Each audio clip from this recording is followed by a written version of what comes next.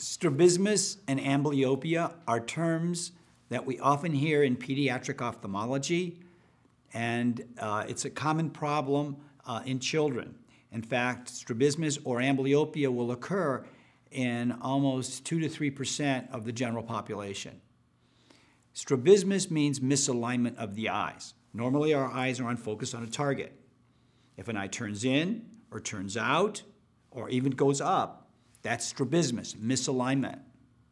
Amblyopia means that the visual development didn't occur properly because usually of a blurred image.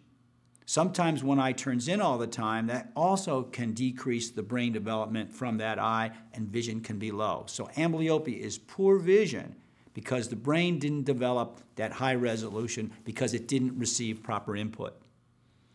Both strabismus and amblyopia should be treated early. The earlier you treat, the better the chances that you're going to get a good result. The better the chances you're going to stimulate brain development.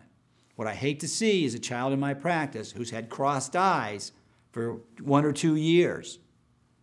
That long standing crossing, the brain now has been stimulated abnormally, and in many cases, I can't get it back. I can't make them use their eyes together anymore because they're so one eye dominant. Now, you may hear about patching. You ever have a child have a patch, eye patch?